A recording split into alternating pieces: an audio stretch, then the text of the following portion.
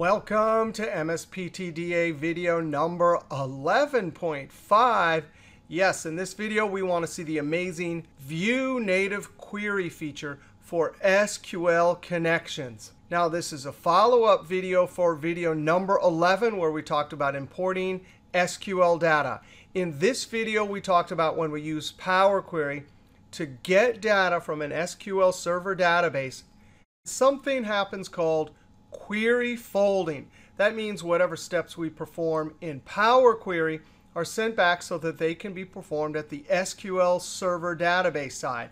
But in video number 11, I didn't know about the June 2018 update to Office 365 and Power BI Desktop. Because what I said was there was no way on our side to see what is sent back. And below the comments for video number 11, Alex said, there is this awesome View Native Query option in both Power Query in Excel and Power BI Desktop that allows us to actually determine which steps are used in query folding.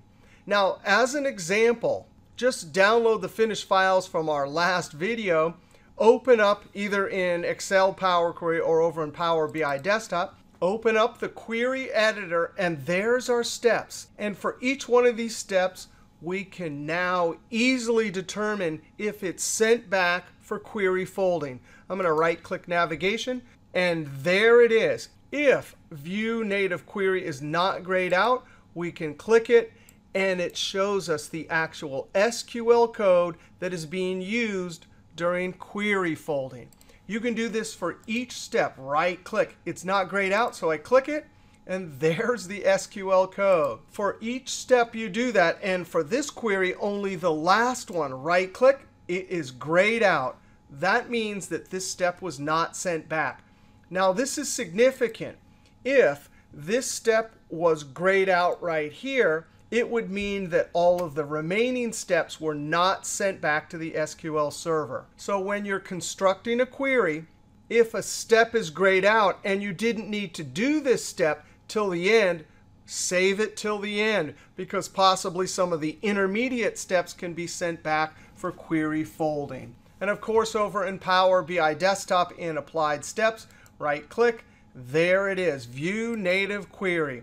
The SQL code, that means it's being sent back. Now here's a great article by Devin Knight.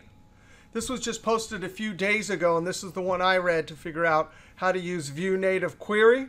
It's amazingly simple, but this is a pretty cool article. You should go check it out. And thanks to our awesome online Excel team, Alex, and this great tip. And we'll see you next MSPTDA video number 12. All right, we'll see you next video.